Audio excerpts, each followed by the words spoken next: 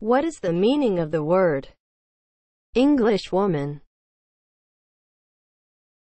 As a noun, a woman who is a native or inhabitant of England.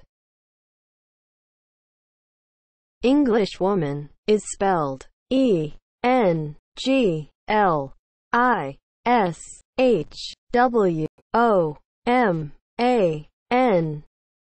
English woman.